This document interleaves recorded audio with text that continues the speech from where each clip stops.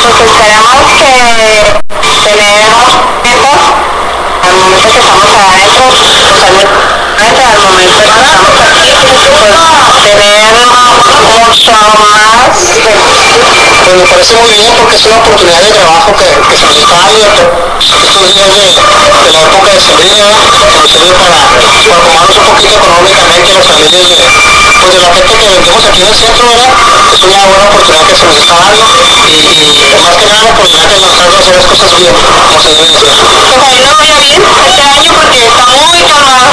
No se iba bien este año. Pues esperamos que haya ventas para los espíritus. La Dirección de Comercio explicó que al terminar esta temporada de sembrina, los ambulantes se deben de retirar para despejar el primer cuadro de la ciudad. De 70 pesos por día, expidiéndose un total de 500 con el aval de los establecidos dentro de los mercados, quienes aseguran el que haya fuera no afecta a las ventas. Esperanza Castro y David Fuentes,